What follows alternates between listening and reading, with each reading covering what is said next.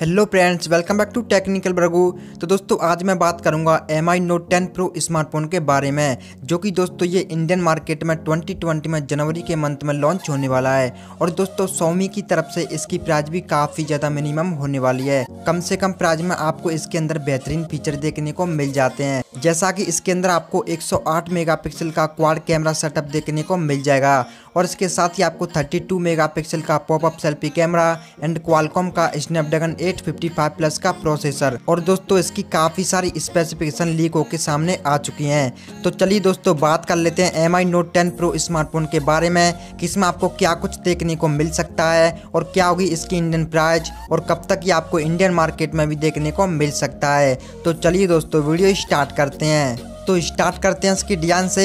तो दोस्तों, इसमें आपको सेम डिज़ाइन तो वैसा ही देखने को मिलेगा, जो कि एमआई के अदर स्मार्टफ़ोन में देखने को मिलता है। इसमें आपको पॉलीकार्बोनेट का बैग देखने को मिलेगा, जो कि ग्लोसिक ग्रेडियंट फिनिशिंग के साथ आएगा। और इसके साथ ही आपको quad camera setup with dual LED plus देखने को मिल जाएगी। और बैक साइड में आपको गोयला ग्लास का प्रोटेक्शन भी मिल जाएगा।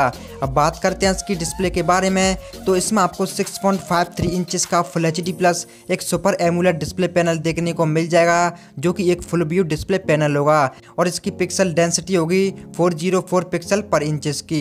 और इसमें आपको in display fingerprint sensor and selfie के लिए पॉपअप सेल्फी कैमरा देखने को मिल जाएगा।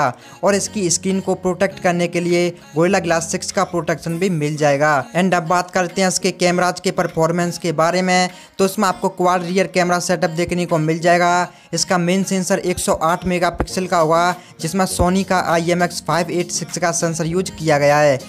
और इसी के साथ 16 मेगापिक्सल का एक ultra wide angle lens 8 megapixel का टेलीफोटो सेंसर एंड 5 मेगापिक्सल का डेप्थ सेंसिंग सेंसर देखने को मिल जाएगा।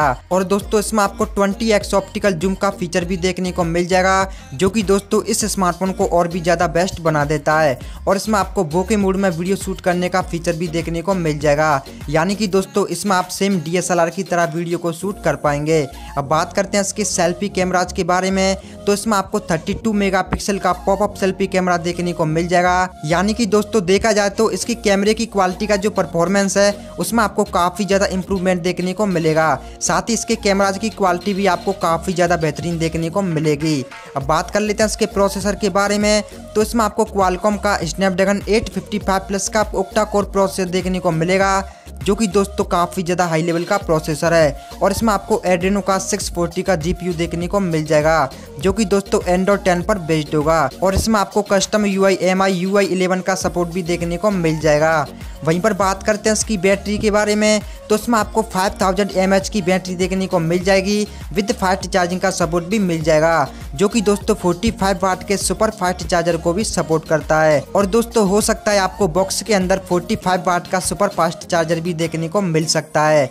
और इसमें आपको type C port 3.5 point mm audio jack and face unlock जैसे फीचर तो देखने को मिलेंगे अब बात करते हैं इसके रैम वेरियंट के बारे में। तो दोस्तों, ये दो रैम वेरियंट के साथ लॉन्च होने वाला है six G plus one twenty eight and eight G plus one twenty eight और इसमें आप वन टी बी तक माइक्रो एच डी कार्ड भी एक्सपेंडेबल कर सकते हैं। तो चलिए दोस्तों अब बात कर लेते हैं इसकी प्राइस और लॉन्च डेट के बारे में। तो दोस्तों, इसकी बेस वेरियंट की प्राइस होने वाली है अराउंड पच्चीस से सत्ताईस हज़ार रुपीज़। तो दोस्तों, देखा जाए तो अराउंड पच्चीस हज़ार रुपीज़ की प्राइस में आपको मिल जाता है 108 मेगापिक्सल का क्वाड कैमरा सेटअप 32 मेगापिक्सल का popup selfie camera and Qualcomm का स्नैपड्रैगन 855 प्लस का प्रोसेसर। और दोस्तों, इसमें आपको 20 एक्स ऑप्टिकल जूम का फीचर एंड बोके मोड में वीडियो शूट करने का फीचर भी देखने को मिल जाता है। यानी कि दोस्तों, पच्चीस से सत्ताईस हज़ार रुपीज़ की प्राइस में आपके लिए ये स्मार्टफ़ोन एक बेहतरीन स्मार्टफ़ोन होने वाला है।